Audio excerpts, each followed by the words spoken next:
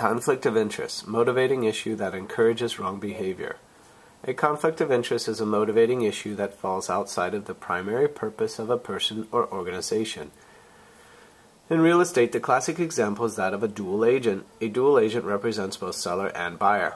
Since the seller would like to receive the highest possible price for the property and the buyer would like to get the lowest price for the property, does the dual agent strive for the highest price or the lowest price?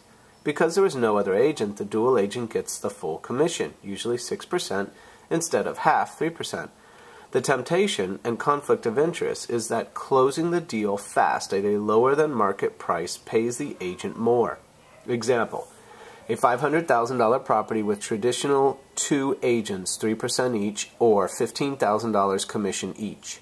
Dual agent wants a quick sale, convinces seller to sell below market value at $400,000. Dual agent gets full 6% or $24,000. The potential conflict of interest is that a dual agent is tempted to push to sell at well below market value to close the deal and collect a larger commission. Multiple choice, uh, multiple choice question. Conflict of interest. A. Doing what is best for oneself is always the main goal.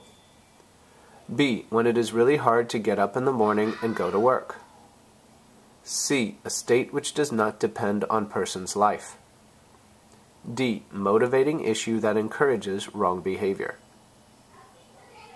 The best answer choice in this case for conflict of interest is D as in dog, motivating issue that encourages wrong behavior.